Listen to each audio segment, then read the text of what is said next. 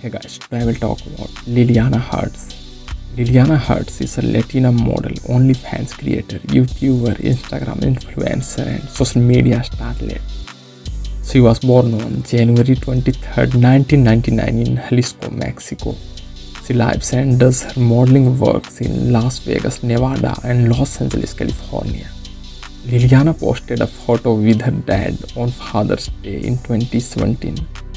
She has attracted more than 1.1 million followers to her official Instagram account. She regularly uploads fashion shots to her YouTube channel that has thousands of subscribers.